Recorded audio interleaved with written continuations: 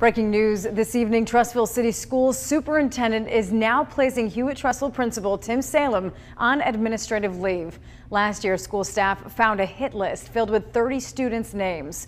Only the principal, a counselor, and a teacher knew. The SRO at the school didn't learn about it until last week.